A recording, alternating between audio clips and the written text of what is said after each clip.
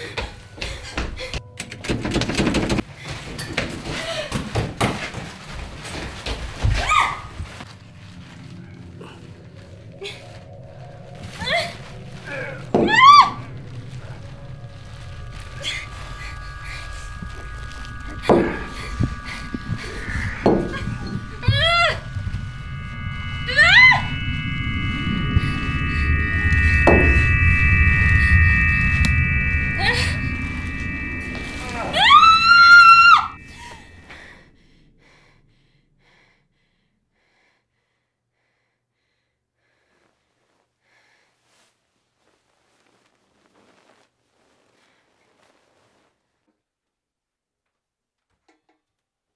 Hey.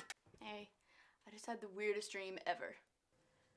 I was in a warehouse and there was this guy, he was a maniac in this yellow suit and he had an axe and he was chasing me and it was like I just couldn't get away no matter what. Like every time I turned around, he was just right there.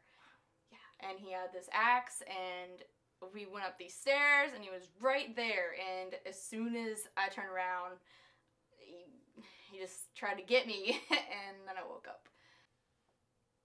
Oh, that's terrible. You need this more than I do. Thanks. You alright? Yeah, it's just if it seems so real.